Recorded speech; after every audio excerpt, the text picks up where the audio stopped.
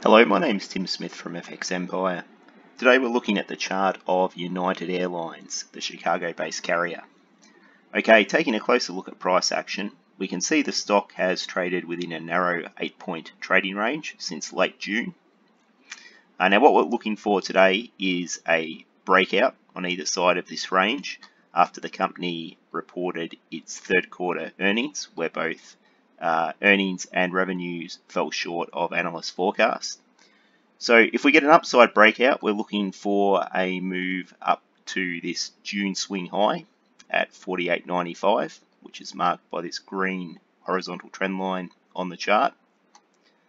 Uh, alternatively, if we get a breakdown, uh, I'd be looking for a fall down to around the 2250 area uh, where the stock finds crucial support from this red horizontal trend line.